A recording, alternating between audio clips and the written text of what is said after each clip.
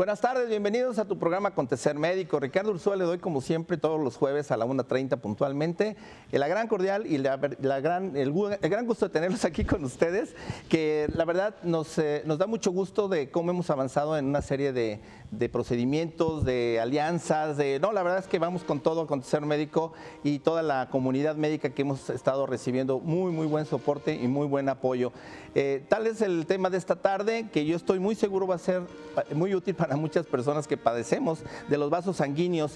Hemos hablado también de, cuestiones cardiológicas, pero vamos a hablar de las venas, las famosas varices. Yo creo que todos en algún momento, en, mayor o menor proporción, tenemos una serie de trastornos en circulación por el trabajo, por muchas situaciones posturales. Esta tarde vamos a hablar sobre las soluciones actuales de las varices, porque a veces pensamos que es igual, como lo hemos visto en otros temas, que se siguen tratando como hace 20, 30 años. Se van a quedar sorprendidos de lo fácil que es ahora tener un tratamiento muy adecuado y que no va a afectar nuestra vida laboral ni cotidiana en el sentido de técnicas de mucha eh, innovación médica y sobre todo idea avanzada para abrir boca, me gustaría que vieran este video que les va a dar mucha confianza de todo lo que vamos a hablar a lo largo de toda esta hora. En esta imagen puede verse una vena sana junto con una arteria y sus correspondientes vasos colaterales. Como sabemos, las arterias llevan la sangre desde el corazón hasta todo el cuerpo, mientras que las venas, ayudadas por válvulas, retornan la sangre hasta el corazón. En una vena sana como la del esquema, las válvulas se abren para que pase la sangre y se cierran para impedir que la misma retroceda o refluya.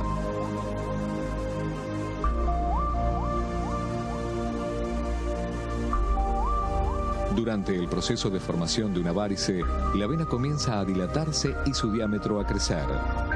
Pero como las válvulas no acompañan este cambio y quedan del mismo tamaño, la sangre comienza a refluir.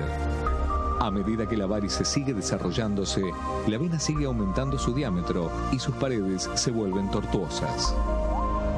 En este estado, muchas veces las varices se vuelven dolorosas, llevando a producir tromboflebitis, úlceras, oscurecimientos de la piel y otros graves problemas, además de las indeseadas consecuencias estéticas. Esta vena entonces ya no es funcional y se transforma en insuficiente. En esta situación, la única manera de resolver el problema es eliminando la vena. Decíamos entonces que los vasos sanguíneos también tienen un tratamiento muy especial, pero como han visto en el video, algo muy innovador, que no cualquiera lo maneja y por eso es importante que esta tarde nos llevemos la idea de quién y qué médico es el que debe atender nuestras venitas. Bueno, las enfermedades que afectan estos vasos, eh, entre muchos nombres, lo más común es las famosas venas varicosas o las varices. Estas eh, enfermedades eh, hay, que, hay que prevenirlas y hay que abordarlas a tiempo porque obviamente se pueden desarrollar alguna serie de complicaciones, que para ello tenemos a, dos especialistas que trabajan en equipo. Primeramente, la licenciada en enfermería, Berenice Espinosa González. Bienvenida, Berenice, me da muchísimo gusto. Y sobre todo me da, me da mucho gusto el que una enfermera nos eh, esté también aportando toda su, su, experiencia, que eso debieran tener la mayoría de los médicos y el hecho de que se estén apoyando en la enfermería. Qué bien, qué bien por eso, felicidades. Al contrario, gracias. Y por supuesto, y esta felicitación pues también va para ti, doctor. El doctor Oscar Mauricio Gómez Leal, él es médico angiólogo especializado en cirugía endovascular, especializado en Arizona Heart Institute en Estados Unidos. Actualmente es el presidente del Colegio de Cirujanos de Tórax y Cardiovascular de aquí del estado de Jalisco. Doctor, pues bienvenido y mucho gusto que, estés por aquí enseñándonos ahora cómo podemos tener una mejor circulación. Gracias, buenas tardes de nuevo. Eh, ya habíamos estado platicando contigo en algún otro programa y creo que no va a ser otra vez, no va a ser el último, vamos a seguir adelante con otros programas más. Qué padre. Hoy vamos a hablar específicamente, como tú lo dices, de problemas circulatorios y dentro de las especificidades de las varices. Claro, eso es bien importante. Y bueno, eh, un poquito el punto es decir, primeramente, yo creo que si nosotros nos vemos las piernas o simplemente sentimos las molestias, nuestra primera pregunta puede ser, bueno, ¿quién, quién me las puede atender? Y sobre todo si me va a doler o no. Aquí en este caso, doctor, hemos hablado del angiólogo o cirujano vascular. ¿Qué es o qué especialidad y por qué un angiólogo debe de atender este tipo de problemas? Bien, primero que nada, eh, quisiera definir lo que es un angiólogo. Un angiólogo es un especialista en problemas circulatorios, como tú lo dices, Y angiología viene de la palabra de angio que significa vaso. Vaso se refiere a una vena, una arteria o un linfático y luego es tratado. Entonces vemos lo que son arterias, venas y linfáticos. Okay. Y tiene eh, un segundo nombre de la especialidad que es, o el apellido que viene siendo cirugía vascular. Entonces vemos desde el punto de vista médico, desde el punto de vista quirúrgico, los problemas circulatorios. Claro, eso es importante, ¿no? De a profundidad, vaya. A profundidad. Y quisiera agregar un comentario. De repente, como tú bien lo dices, la gente tiene un problema circulatorio, no sabe a veces con quién dirigir, a veces no sabe ni siquiera que existe esa especialidad, o le escuchan y dicen, bueno, ¿qué significa angiología? De hecho, la anécdota es que ha llegado pacientes con anginas y piensan que, nosotros somos los que vemos las anginas, ¿no? Eh, sucede, en una ocasión, pero angiólogos vemos problemas circulatorios. Claro, eso es, eso es también eh, básico, el que podamos también identificar qué médico es el que nos va a tratar.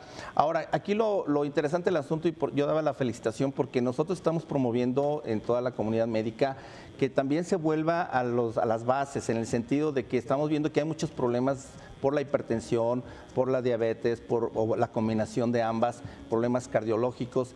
Y la parte de la enfermería, eh, de la mano con el médico, inclusive en la consulta privada, yo creo que es algo que hace falta volver a, ese punto. ¿Por qué? Porque por falta de tiempo y no tener este apoyo, en ocasiones ya se está bajando un poco ese cuidado que se le debe dar al paciente, que si ya está en el consultorio, pues se le puede aprovechar. Berenice, eso es lo que a mí me, gusta mucho de, de, esto, de ver que estén trabajando en equipo, porque la enfermería siento que este, tradicionalmente ha sido muy subutilizada cuando en realidad es una gran mancuerna y un gran apoyo para el médico. ¿Cómo trabajan ustedes en este tipo de problemas? Bueno, eh, bueno, primero que nada, gracias por la invitación y por la oportunidad de estar aquí, es un honor. Eh, en nosotros, eh, las enfermeras, tenemos pues una área muy amplia pues, en la que podemos trabajar y que podemos aportar en beneficio de la salud de los, de los pacientes.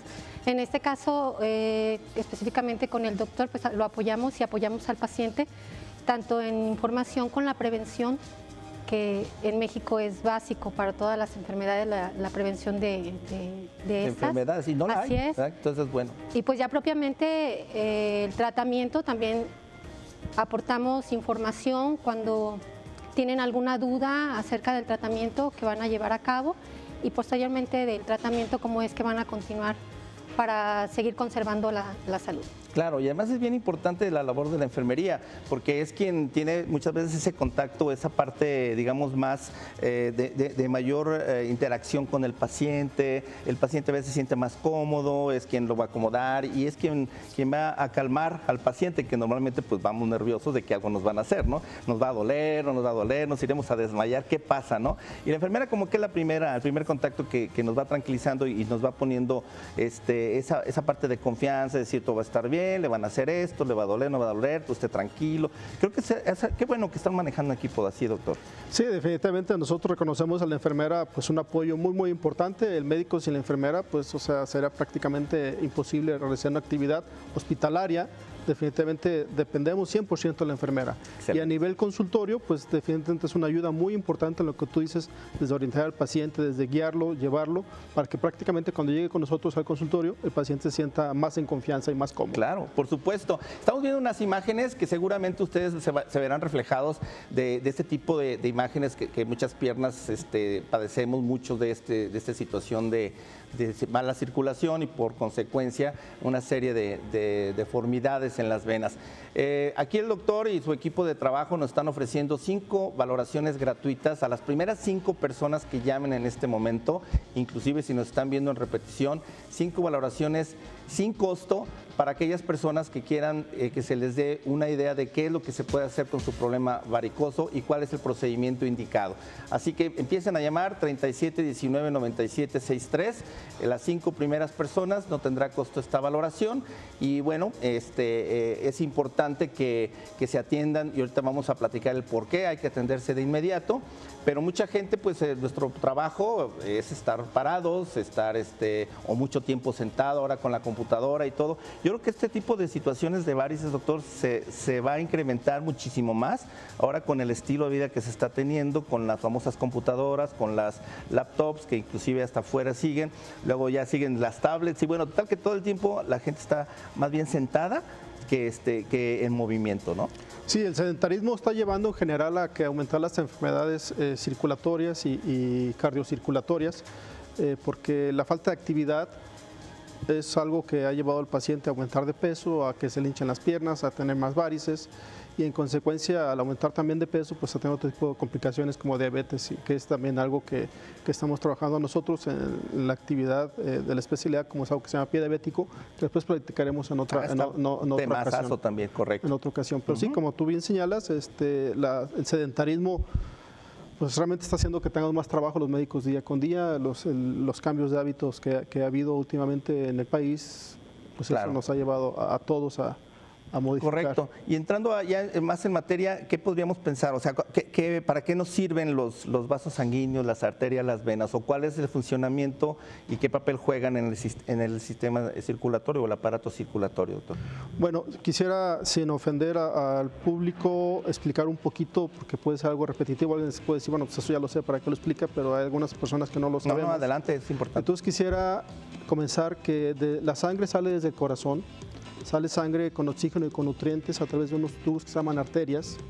Esas arterias llevan sangre limpia, oxigenada y con nutrientes a todo el cuerpo, en este caso a las piernas, por así decirlo, así como la llevan a todo el cuerpo. Y esa sangre que llegó a las piernas o a otros órganos retorna por otros tubos que se llaman venas. Entonces llega por arterias y regresa por venas. Esta sangre que regresa por las venas es sangre ya con el CO2 y con los desechos de metabolismo. Entonces regresa lo que nos enseña en la primaria.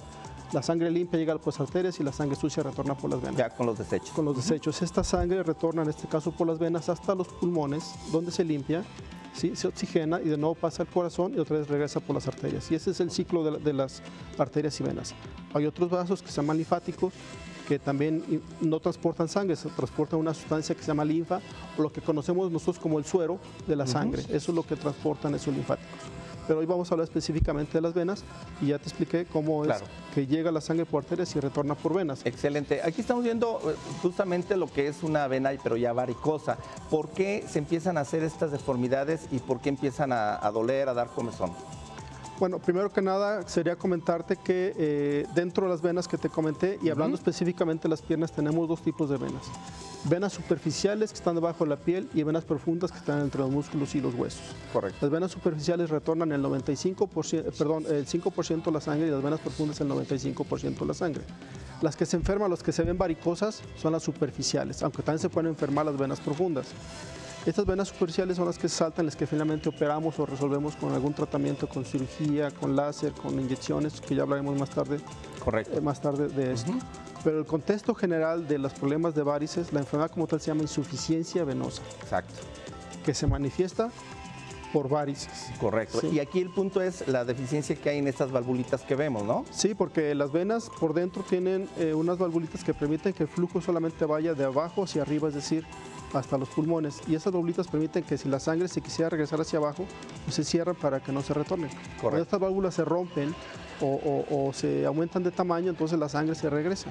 Y eso es muy común que suceda en personas que están muchas horas sentadas, muchas horas paradas, personas que tienen obesidad o que tienen otros factores de riesgo como los embarazos o que tienen factores de riesgo como ingesta de hormonas. Por eso es que son más comunes las varices de mujeres. En las mujeres, claro, por la parte hormonal. Por la cuestión hormonal. Si de cada 10 pacientes, 8 son mujeres y 2 son hombres. Excelente. No, pues creo que está, está muy claro y bueno, ya hemos aprendido hoy el cómo eh, empieza esta, esta disfunción. Eh, Berenice, ¿qué es lo que la, o los pacientes este, les inquieta más cuando llegan a, a hacerse ya un procedimiento? Y tú cómo los animas pues para que estén tranquilos, ¿no? Sí, bueno, como ya mencionó el doctor, se dan las varices de forma más común en las mujeres. Exacto. Y pues la vanidad está siempre presente. En Además, claro. La mayoría de las veces por la cual acude el paciente al consultorio es por la cuestión estética. Correcto. Pero obviamente está acompañado de muchos otros molestias, la sensación de pesadez, de cansancio y demás que, que, presenta. Claro. Y muchas veces, eh, aparte de la cuestión estética, pues quienes toleran menos el dolor acuden también por esta razón. Correcto. Hay algunas personas que, digamos, este, eh, eh, temen o empiezan un poquito medio como a titubear de que les den el tratamiento y tú, tú, tú las animas, les das algo de información o, qué, cómo más manejas a ese paciente. Sí. Eh, muchas veces llegan temerosos por la mala información. Claro. Las experiencias que, que les han dicho otros vecinos, amigos, la tía, la prima. Eh, es muchas veces por la que llegan con, esos temores. Mm, a que sientan dolor con el tratamiento también, eso es muy frecuente, me va a doler las que se preocupan por la cuestión estética es si me van a quedar cicatrices. Sí, claro. Todo eso es lo que presenta mayor preocupación. Pues una, una, labor que ya desde ahí empieza el paciente a, relajarse y eso de alguna forma eh, ya este, a ti como médico pues te va creando ya un, un, ambiente relajado y te va a dar más oportunidad de trabajar más a gusto con ese paciente, ¿no, doctor? Sí, retomando un poquito eso de los tumores, fíjate que un temor muy frecuente y que se ha convertido en un mito es de que le van a podar las varices o de que la van a operar y la van a salir más. Sí, eso sí. Y es que finalmente hay quien se opera de varices y le salen después. Sí, cierto, sí sucede.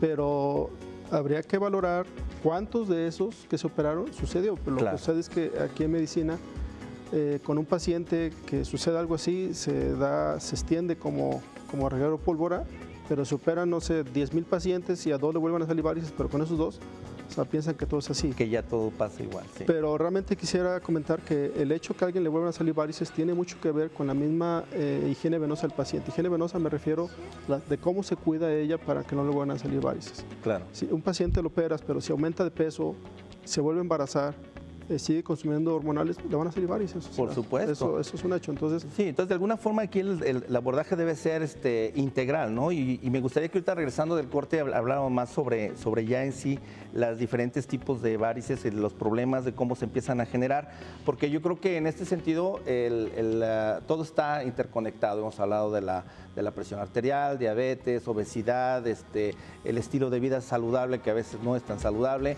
y a veces la, resistencia que tenemos a, invertir en salud. Creo que eso es un punto importante que también hay que ir derribando todos esos mitos porque si nuestra salud está bien, todo lo demás está bien. Vamos al primer corte y de regreso vamos a ir hablando sobre este tema que es justamente las soluciones actuales de las varices, pero para ello en el siguiente bloque vamos a entender bien cómo se van formando las varices y cuáles son peligrosas y cuáles no. Vamos al corte, regresamos.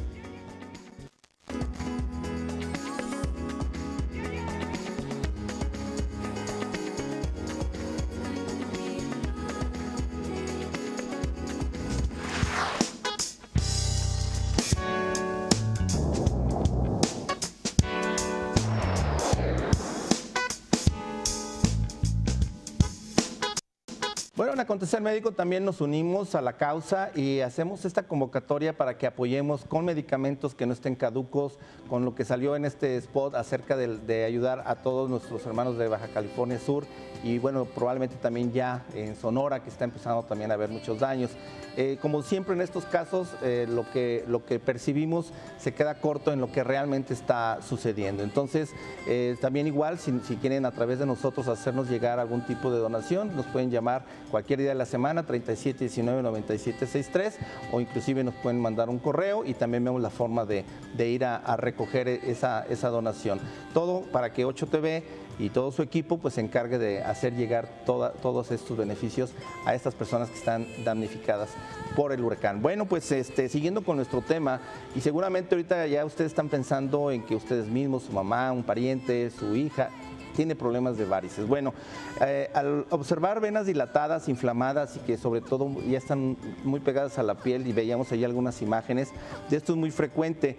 Eh, se ve ese color morado o azuloso, que esto también ya es un, indicativo, pero lo más importante es que se ven torcidas, abultadas. Y como decía hace rato aquí, Berenice, es cierto, la parte estética, ¿no? Que todo el mundo dice, híjole, qué, qué feas se ven mis piernas.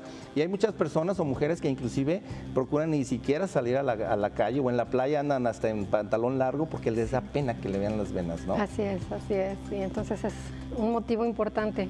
Claro.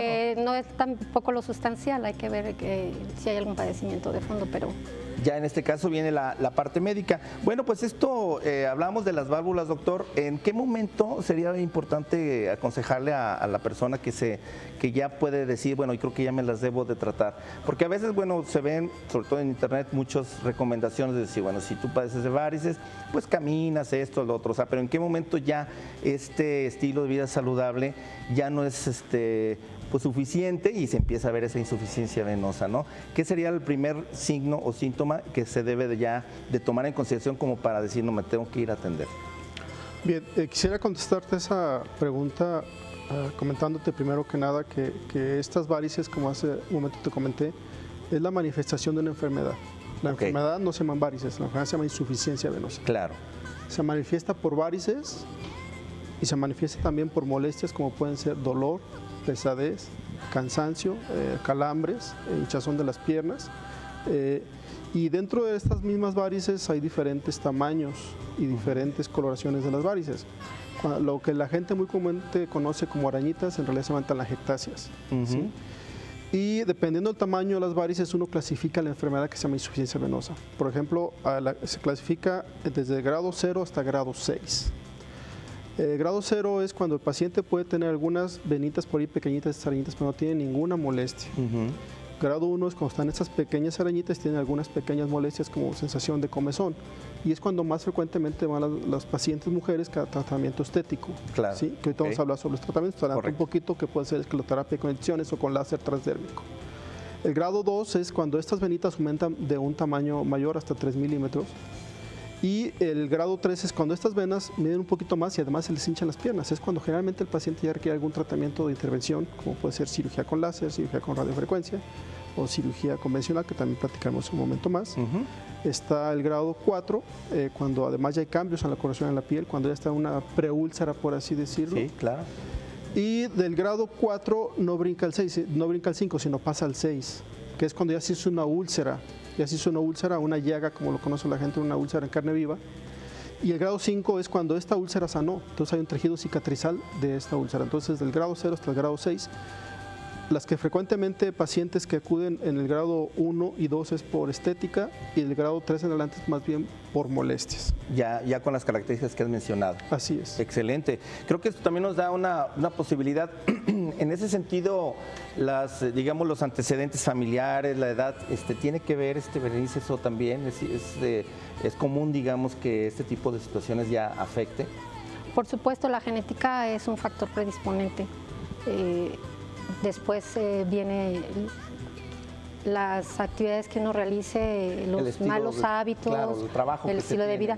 Sí, sí, sí, Ya han mencionado varias ocasiones, varias ocasiones que es muy frecuente en personas que tienen que trabajar mucho tiempo de pie o sentados. Las deficiencias en la circulación pues son notorias. Exacto. Entonces, por ejemplo, si, eh, yo me imagino que voy a, que me hagan el tratamiento, llego ahí y ¿qué es lo primerito que, me hacen o, qué es lo primero que, voy a, este, a ver ahí o a sentir, ¿no?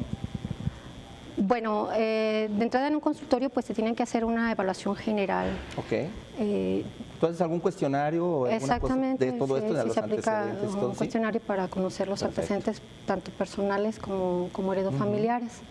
Ok.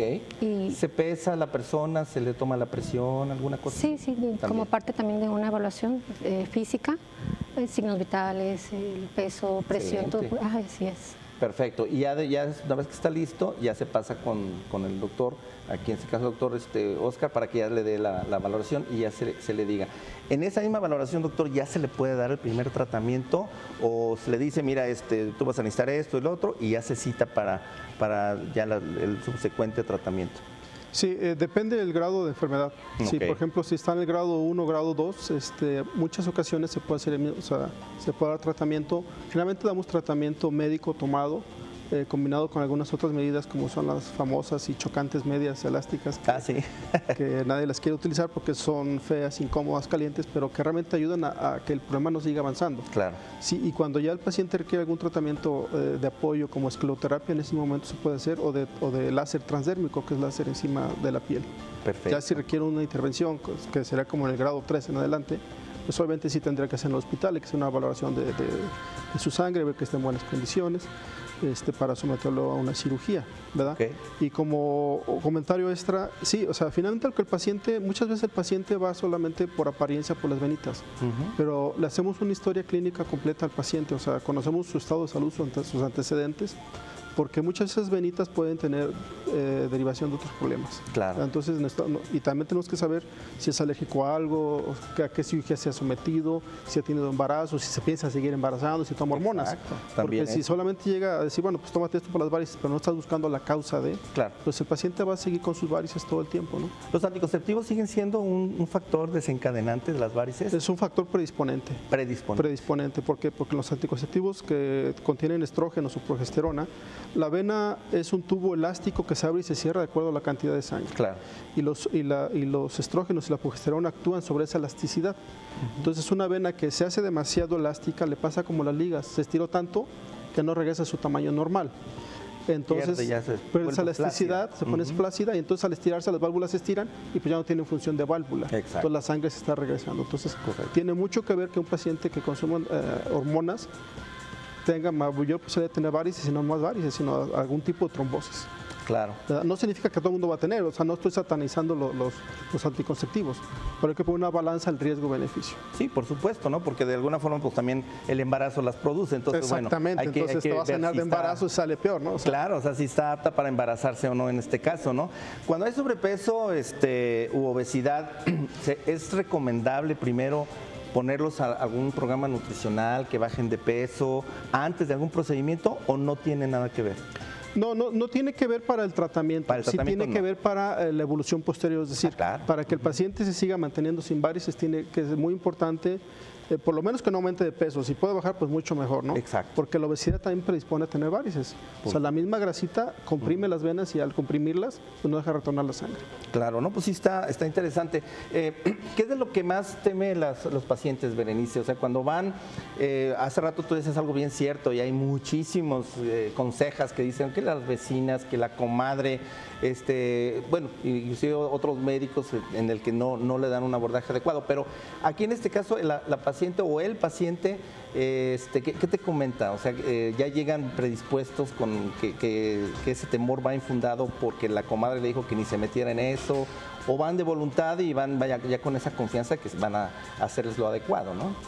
Sí, bueno, sobre todo cuando están más mal informados es cuando llega a haber más temores y pues específicamente de los tratamientos, eh, depende del tratamiento que, que requiera, pues su temor es si les va a doler Claro, el dolor. Muy, muy frecuentemente. Entonces ya se les explica de acuerdo al, grado de, enfermedad que tenga, el tratamiento que va a tener y si eh, le produce o no dolor, que en la mayoría de los casos es Es, es indoloro. Perfecto. Recuerden que tenemos cinco valoraciones sin costo. Ya ahorita estamos viendo varios eh, eh, aspectos que ustedes deben tomar en consideración. Pero lo más importante es que si se les hace esta valoración gratuita, ya de ahí puede surgir qué tipo de tratamiento que puede ser desde medicamento u otros procedimientos que vamos a ver más adelante y después del corte. Cinco valoraciones gratuitas. Llamen en este momento y si no están viendo en repetición, también se, se hacen este, efectivas. Entonces, ahorita que regresemos, vamos justamente a ver cómo se pueden prevenir o si es que se pueden prevenir, pero además ya qué tipo de tratamientos son los que son más actuales, que es parte del tema que estamos viendo esta tarde, que es justamente las soluciones actuales que existen para tratamiento de las varices. Regresamos, no tardamos absolutamente nada.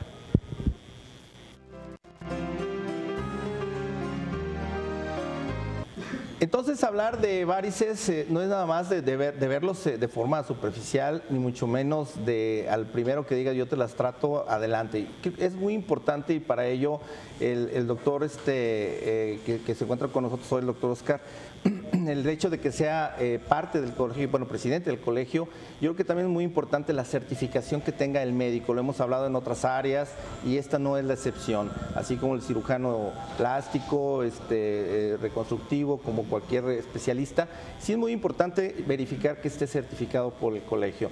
Y yo creo que eso nos va a dar también una mayor certeza de que está actualizado y que al mismo tiempo nos va a implementar el procedimiento que sea el más adecuado, pero también el más innovador, de esta forma eh, vamos a estar muy, muy al día en que nos van a hacer el procedimiento que es no el que tienen, sino el que se debe de utilizar, que eso es muy importante. Y hablamos de la gran diferencia, doctor, entre las instituciones públicas que hacen el tratamiento que tienen, o sea, que tienen al alcance. Así es. Y la ventaja de ir a una, a una medicina privada o a una clínica privada, que les van a dar lo que uno necesita y lo que va a ser menos invasivo, ¿no? Que yo creo que es una grandísima diferencia, ¿no? Sí, lo habíamos platicado, o sea, es una pena, pues, y y que las instituciones públicas sigan ofreciendo pues lo, que, lo que tienen, ¿no? Igual con las medicinas. Exacto. O sea, te dan lo que tienen en stock, pero no lo que requieres. Hay medicinas más nuevas que pueden ayudarte más.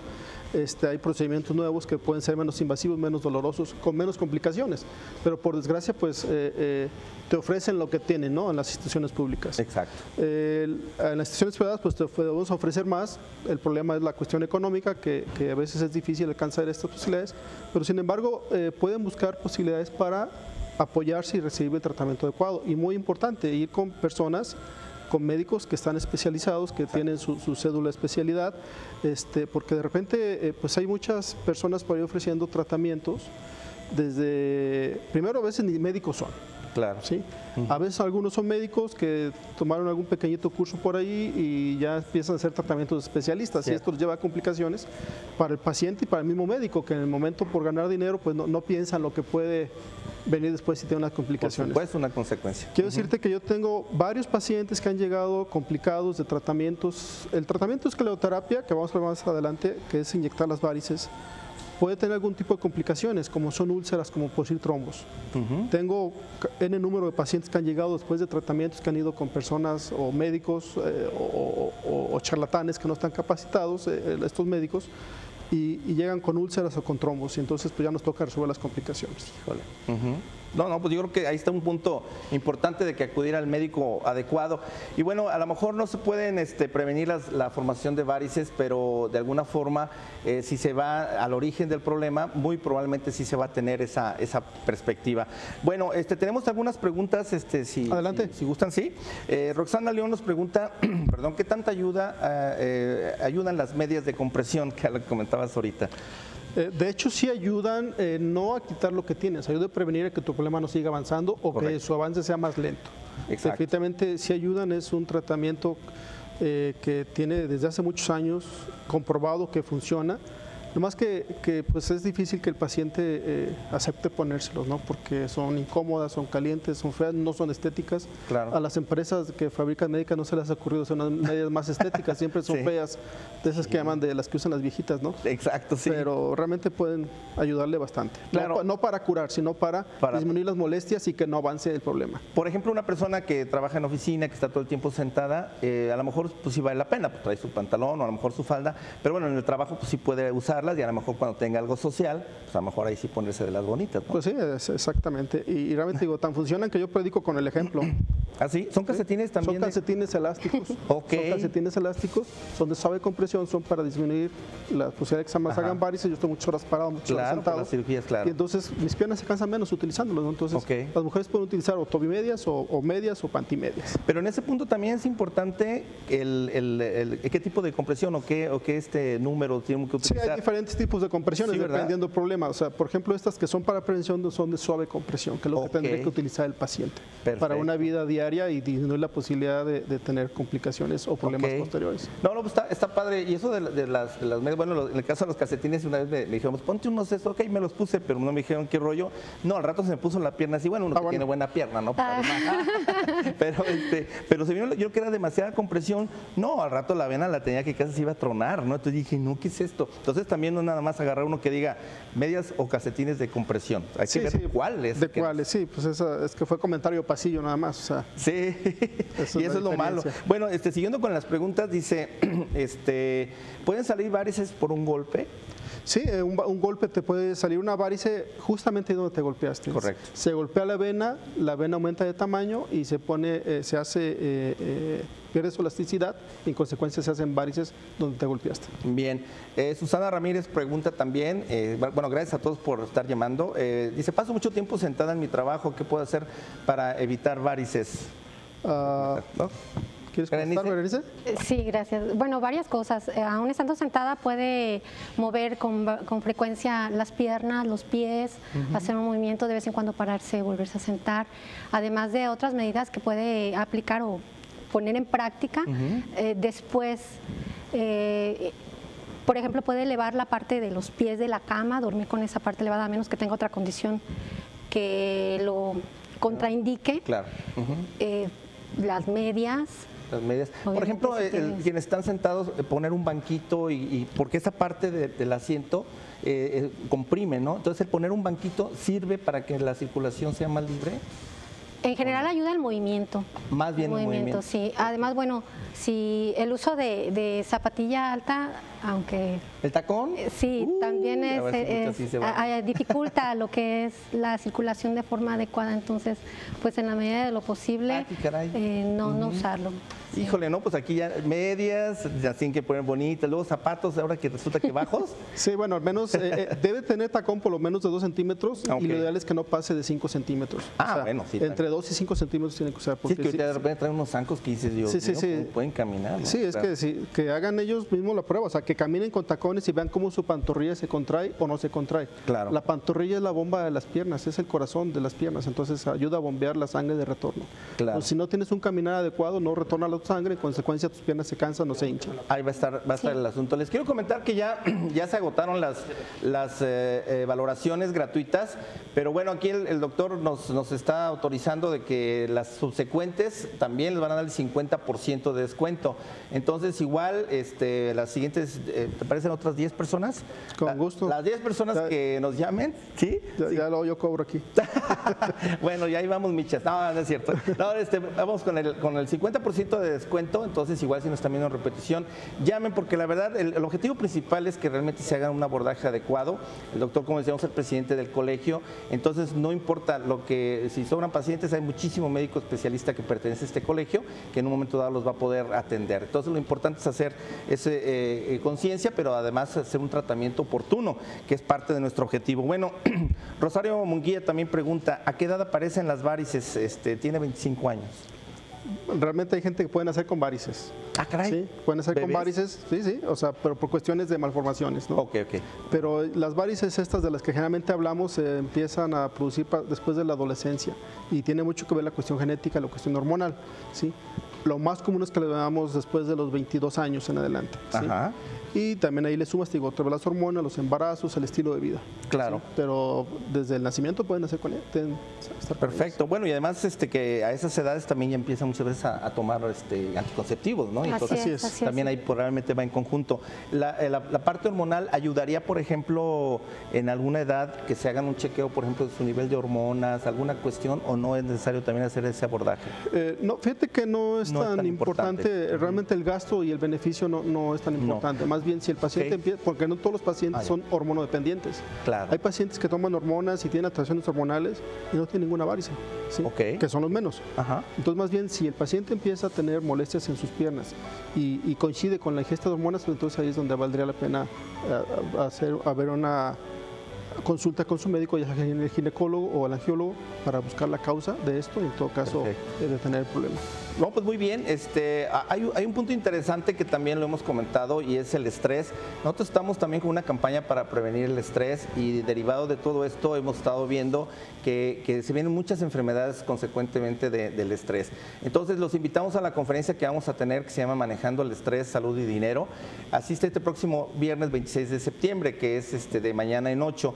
Ahí a las 8 de la noche vamos a estar, vamos a estar también todo nuestro equipo de Acontecer Médico y vamos a estar justamente platicando con ustedes va a ser muy interactivo, pueden hacerle preguntas a los dos especialistas que van de cómo manejar el estrés y también cómo poder superar la ausencia o, la carencia de recursos económicos, que es algo que a todos nos trae de cabeza. Hay una cuota de recuperación mínima, pero todos ustedes asistan y la verdad es que aunque es el cupo limitado, ahí de una manera nos hacemos este, bolas, pero es bien importante que, que vayan, les va a gustar y va a ser una de un ciclo de conferencias sobre diversos temas. Inclusive, doctor, ¿qué te parecería si en algún momento hiciéramos una conferencia sobre, sobre varices, sobre su prevención? Lo que estamos haciendo, pero que las personas puedan ir a, a escuchar la plática y que tengan preguntas. Que sea interactivo. Que te, late que organicemos una? Puestísimo. Sale, va. Hecho, bueno, pues entonces próximamente ya les anunciaremos este qué día, pero la siguiente la podemos manejar también acerca de lo que son todo ese tipo de, trastornos. Tenemos todavía por aquí, creo que nos quedan dos preguntas más.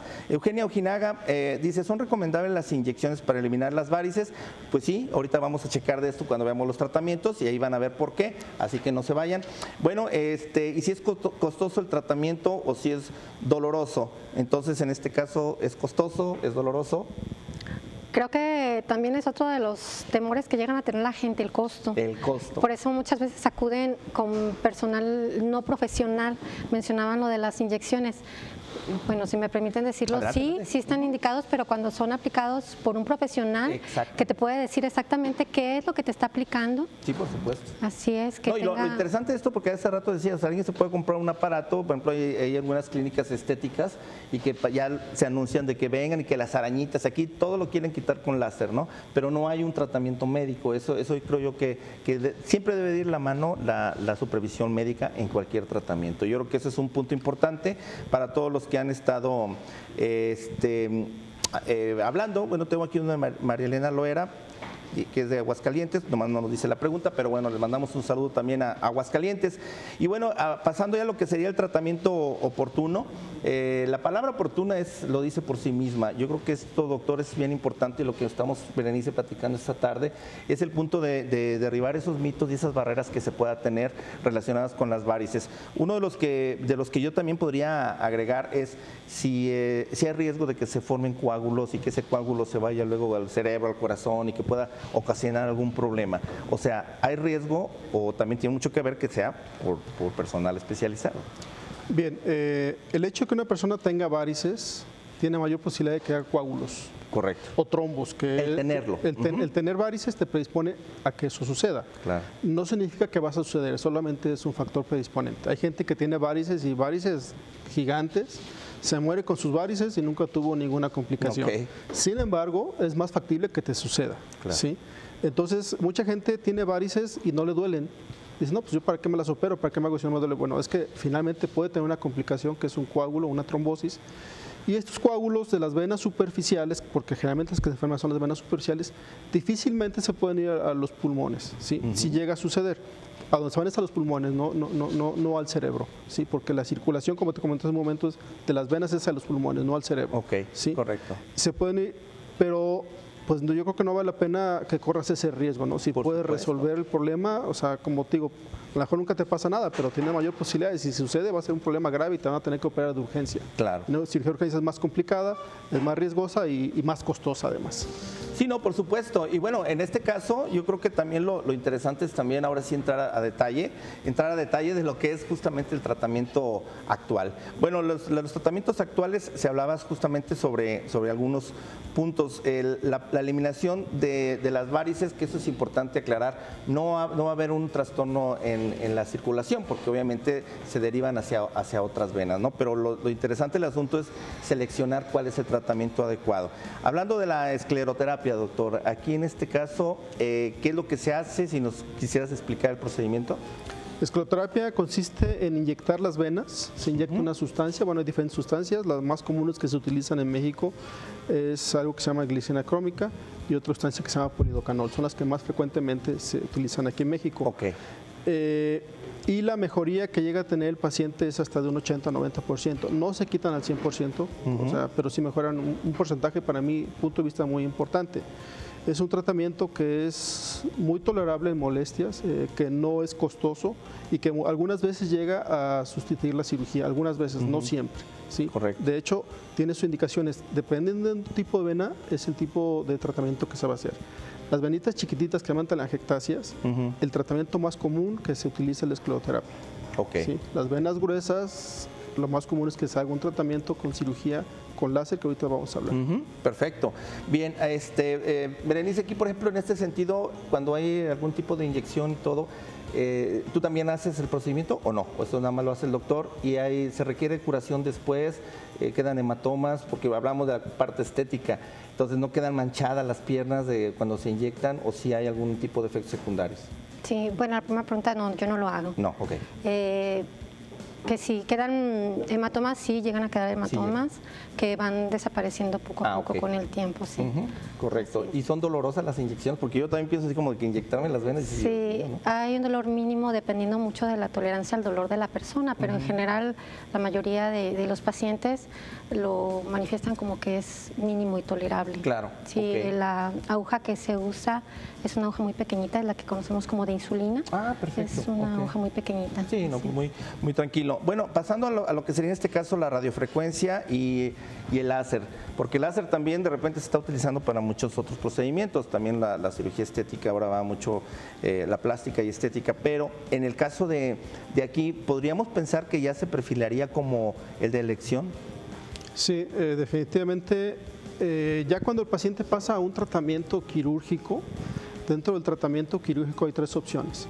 La cirugía convencional, que se hace desde hace 70 años y que consiste en sacar la vena, eh, se arranca la vena, eh, se hacen heridas en varias partes de la pierna y con eso se extrae la vena. Exacto. Esa es la cirugía convencional que se hace en las instituciones públicas, que no es un mal tratamiento, sin embargo que es, tiene la desventaja de que es muy doloroso después de la cirugía, es poco, es, la estética pues es mala porque hay muchas cicatrices de las cicatrices que tienen que hacer y la recuperación tarda bastantes días. Exacto. A diferencia de los otros dos tratamientos, que el tratamiento con láser o con radiofrecuencia, que el paciente eh, tolera muy bien el tratamiento, se hace con anestesia local y sedación, a diferencia de la cirugía convencional con cortadas que tiene que hacerse con un bloqueo o algo parecido a la raquia o con anestesia general.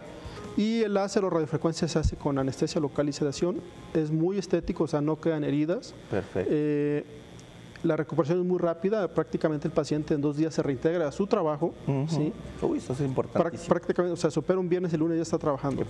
A menos que el paciente eh, quiera mucha capacidad, bueno, pues que se opere con cirugía convencional, ¿verdad? Exacto. Este, También eh, la recuperación, además de que la recuperación es más rápida, eh, las molestias son menores. O sea, prácticamente el paciente, aunque le recetamos algún analgésico, pues casi nunca lo toman. ¿sí? Qué padre. Este, entonces tiene, tiene, muchas ventajas este tipo de tratamiento.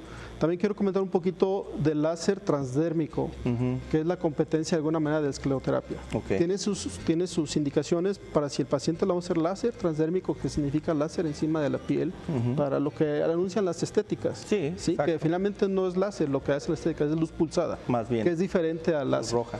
Sí. Este, eh, la ventaja entre o la diferencia entre la escleroterapia y el láser transdérmico es que el láser transdérmico te resuelve en un 30% y la escleroterapia te resuelve en 80-90%. Ah, en el consultorio con nosotros tenemos ambos, tenemos escleroterapia y tenemos láser. Correcto. Le explicamos al paciente eh, que tenemos las dos opciones, que realmente el que resuelve más es escleroterapia. Y la gente piensa que el láser no duele, el láser transdérmico sí duele, porque es una quemadura encima de la piel. Claro, Entonces, entonces sí, molesta.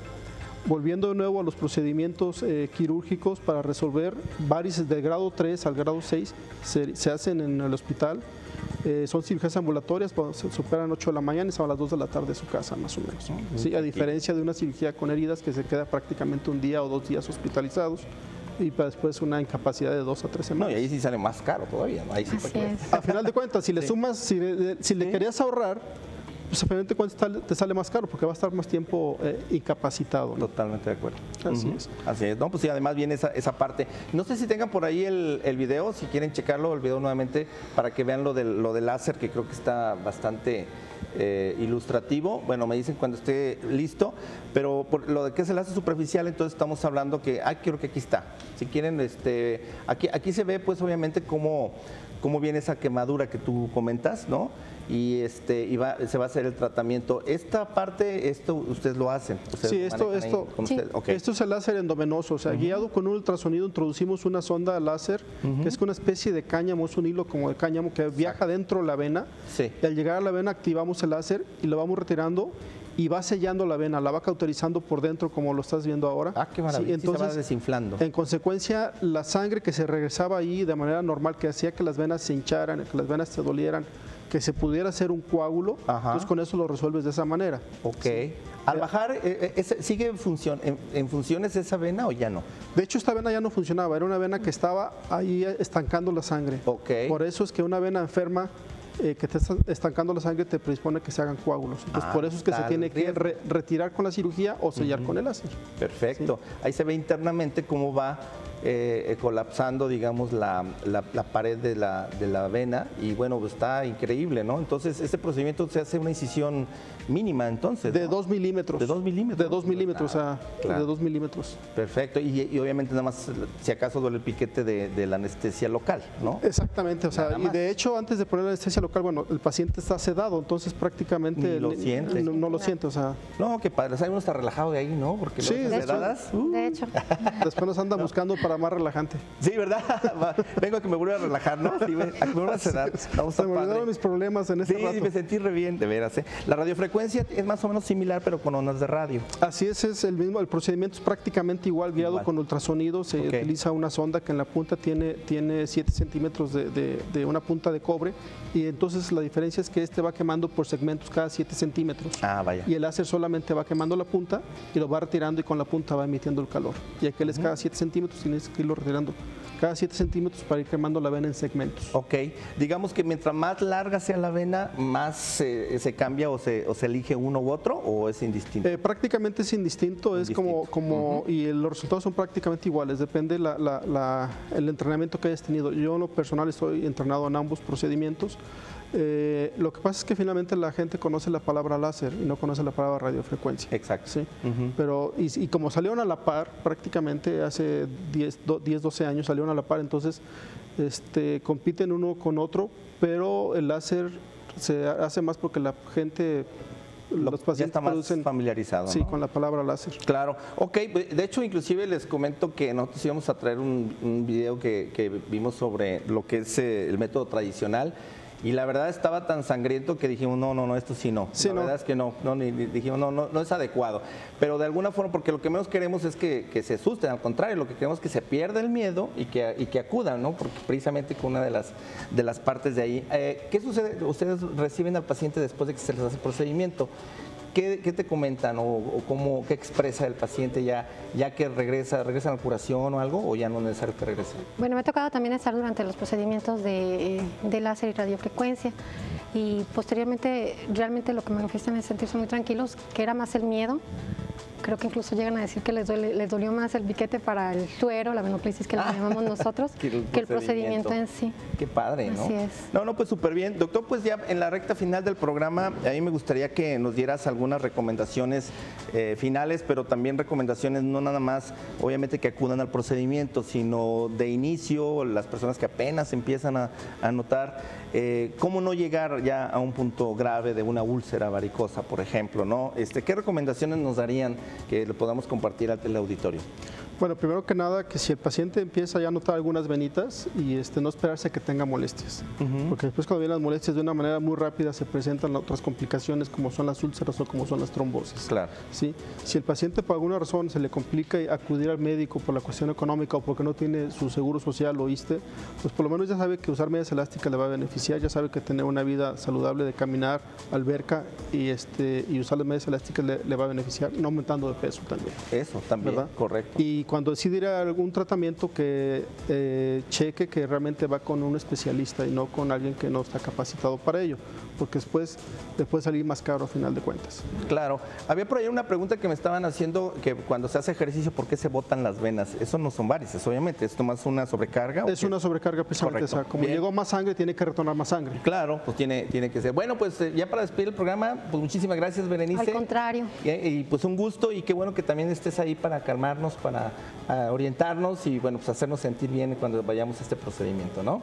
Muchísimas gracias, Gracias, Berenice. Y doctor, pues felicidades, además de tener un equipo donde estás integrando una enfermera, ojalá que todos sigan este ejemplo. Yo creo que es algo muy, muy importante y necesario que el paciente siempre tenga como esa parte también de acercamiento que a veces el médico lo va perdiendo porque obviamente ya se está preparando y está ya empezando a hacer otra, otras actividades para, para el, el abordaje. Y bueno, pues este, agradecerte también eh, todo tu- tus comentarios, tu, sobre todo estas valoraciones que por cierto, este, si no alcanzaron, pero saben de alguien, llámenos durante el trayecto o el transcurso del día más bien y con gusto les vamos a tomar los datos y ya les mandaremos posteriormente la lista, doctor, para que ya hagan la cita con ustedes. ¿Está bien? Ricardo, muchas gracias. Al Estamos a la orden. Gracias, doctor. Pues entonces, y próximamente ya los comprometí, vamos a hacer una conferencia donde tal cual va a estar el doctor y que todo su equipo, para que ahí visualmente y, y tengan oportunidad de charlar y de convivir también con los, con los médicos. Va- es un proyecto que yo creo que les va a gustar. Recuerden la conferencia es este viernes 26, así que vayan llamando porque sí tenemos el cupo limitado. Ricardo Suárez, me despido de ustedes con el gusto de siempre. Espero verlos ese día ahí, ese viernes, ahí vamos a estar y me gustaría conocerlos a quienes nos siguen jueves a jueves. Y recuerden que también el fin de semana se repite el programa, así que por ahí seguimos al pendiente. Muchísimas gracias y muy buenas tardes.